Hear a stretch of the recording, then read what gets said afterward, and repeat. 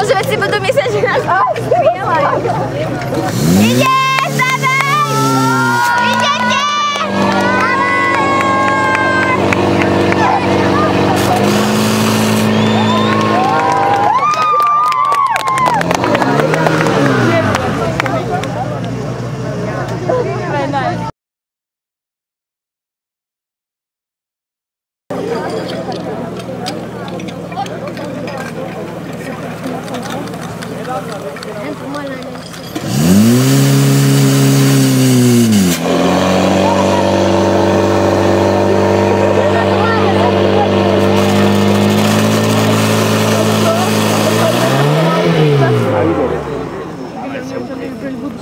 Ja, sam kludny.